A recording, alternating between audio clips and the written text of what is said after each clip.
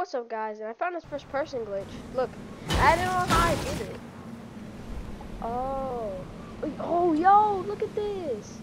For some reason, look, I got, somehow I built under here.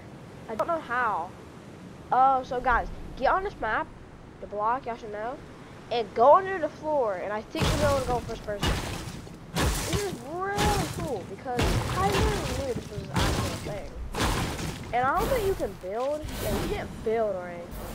You can't build. You can, I think, edit. You can break. You have to float. Yeah, that's, I'm just showing y'all that. Uh, that's just a glitch I just found. So yeah, and goodbye. Peace.